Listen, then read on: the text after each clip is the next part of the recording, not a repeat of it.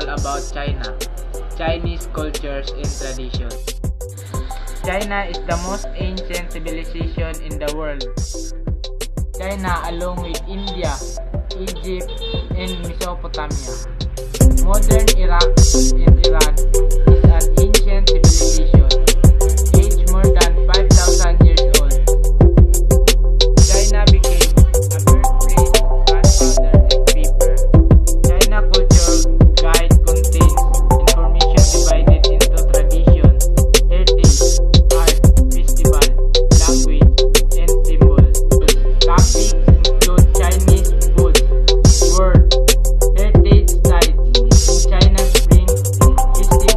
Bye.